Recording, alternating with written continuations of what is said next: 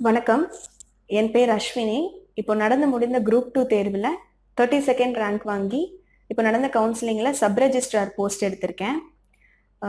என்னோட குரூப் டூலேருந்து group one எல்லாத்துக்குமே வந்து மேக்ஸ் கார்னர் ரொம்ப உறுதுணையாக இருந்தது. ஸோ அதை பற்றி தான் நான் இப்போ பேச போகிறேன் குரூப் டூ ப்ரிலிம்ஸ் ஆரம்பிக்கும் போதே எனக்கு ஃபர்ஸ்ட் மேக்ஸ் படிக்கிறதுல கொஞ்சம் சிரமம் இருந்தது. ஏன்னா நான் அதுக்கு முன்னாடி யூபிஎஸ்சிக்காக நிறைய படிச்சுட்டு இருந்திருக்கேன். அப்போ வந்து தமிழ்நாடு டெக்ஸ்ட் புக் எல்லாம் பற்றி அவேர்னஸ் எனக்கு இல்லை.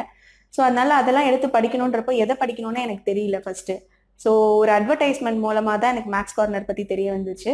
அதுக்கப்புறம் சார் மதன் சாரை காண்டாக்ட் பண்ணி பேசினேன். அவர் வந்து ரொம்ப மோட்டிவேட்டிங்காக பேசினாரு. ஸோ அந்த டெஸ்ட் பேட்ச் நான் அவைல் பண்ணேன். ஸோ அந்த டெஸ்ட் பேட்ச் மட்டுமே ஃபாலோ பண்ணேன். அதில் பார்த்தீங்கன்னா டெக்ஸ்ட் புக்கில் உள்ள எல்லா சம்ஸுமே அதோட மாடல்ஸ் எல்லாமே கவர் பண்ணியிருந்தாரு. வித் uh, ரொம்ப சிம்பிளான எக்ஸ்பிளனேஷனோட ஷார்ட்கட்ஸோட எல்லாமே சொல்லி கொடுத்துருந்தாரு. ஸோ அது எனக்கு ரொம்பவே ஹெல்ப்ஃபுல்லாக இருந்தது. அதுக்கப்புறம் குரூப் ஒன் வந்தப்பையும் நான் குரூப் ஒன் ப்ரிலிம்ஸ் மெயின்ஸ் ரெண்டுத்துக்குமே சார் அர்ஜ் பண்ணி கண்டிப்பாக டெஸ்ட் சீரிஸ் போடுங்கன்னு சொல்லி அப்புறம் அவர் போட்டாரு. போட்டு அதில் வந்து நான் இன்டர்வியூ வரைக்கும் போனேன் குரூப் ஒன்ல ஒன் ஃபார்ட்டி செவன்த் ரேங்க் வாங்கினேன். பட் எனக்கு சர்வீஸ் வரல.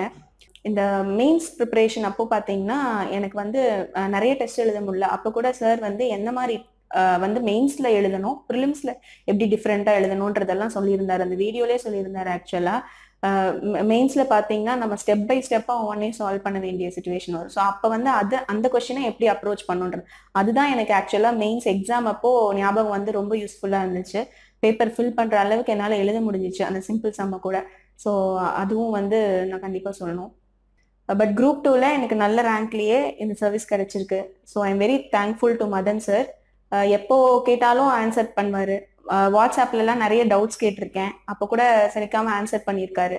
ஸோ uh, நான் ரொம்ப நன்றி கடன் பட்டிருக்கேன். ரொம்ப தேங்க்யூ சார் ஸோ இதில் இன்னொரு ஸ்பெஷாலிட்டி என்னன்னா இப்போ போடுற சார் போடுற யூடியூப் வீடியோஸ் எல்லாமே பார்த்தீங்கன்னா வேற எந்த சேனல்லையும் இல்லாத மாதிரி சில நம்ம தப்பு பண்ணக்கூடிய விஷயங்கள் சிலது இருக்கும். ஃபார் எக்ஸாம்பிள் கோப்ரைம் நம்பர்ஸ் அந்த மாதிரி சில பேசிக்கான விஷயங்களே நம்மளுக்கு தெரியாமல் இருக்கும். அப்புறம் சில சம்ஸ் எல்லாம் நம்ம போட்டுருவோம் பட் ஆனால் சின்ன சில்லி மிஸ்டேக்ஸ் எல்லாம் பண்ணுவோம். ஸோ அந்த மாதிரி சம்ஸ் எல்லாம் அந்த கொஷின்ஸ்க்கு எப்படி ஆன்சர் பண்ணும் என்ன மாதிரி மிஸ்டேக்ஸ் எல்லாம் அவாய்ட் பண்ணணுன்றது முதற்கொண்டு எல்லாமே சார் வந்து தெளிவாக நடத்துகிறாங்க ஸோ இந்த ஆன்லைன் கிளாஸஸ்லாம் இப்போ போயிட்டு இருக்கு. ஸோ அதெல்லாமே I think it will be very useful so um, நான் என்ன சொல்வேன்னா எல்லாருக்குமே ஒரு சின்ன தயக்கம் இருக்கும் மேக்ஸ் படிக்கிறப்போ. ஏன்னா எந்த டெக்ஸ்ட் புக்கில் எல்லாமே படிக்கணுமா? இந்த புக் படிக்கணுமா? அந்த புக் படிக்கணுமா? நிறைய கேட்டிருக்காங்க. எனக்கு என்னன்னா ஃபஸ்ட்டு டெக்ஸ்ட் புக்கில் உள்ளதை கம்ப்ளீட்டாக கவர் பண்ணணும். ஸோ அதுக்கு வந்து மேக்ஸ் கார்னர் வீடியோஸ் பார்த்தாலே எனக்கு மோர் தென் சஃபிஷியண்ட்டாக தோணுச்சு. நான் நிறைய டிஎன்பிஎஸ்சி எக்ஸாம் எழுதியிருக்கேன். இந்த வாட்டி ஃபர்ஸ்ட் டைம் எழுதினேன். ஸோ அந்த கோஆப்ரேட்டிவ் எக்ஸாம் அதெல்லாம் எழுதினப்ப கூட நிறைய சம்ஸ் வந்து டிஎன் டெக்ஸ்ட் புக்ல தான் வந்துச்சு. அது எல்லாமே சார் நடத்தினது அப்படியே வந்திருந்தது. So I think Max Corner help me very lot and Madhan sir motivated me so I am very thankful to Max Corner thank you